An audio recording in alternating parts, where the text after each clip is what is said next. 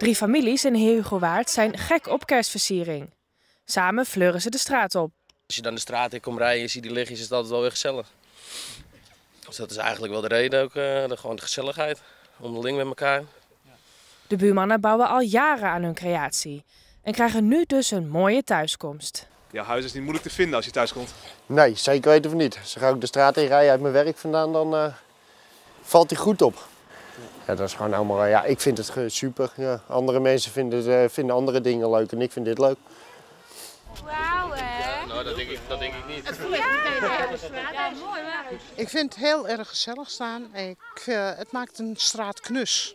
De mannen proberen de rest van de straat mee te trekken in hun plannen, maar dat loopt nog niet zo hard. Proberen ja, het? We proberen het, ja. De andere buren, die gingen, hij ging het proberen, maar uh, het is niet gelukt.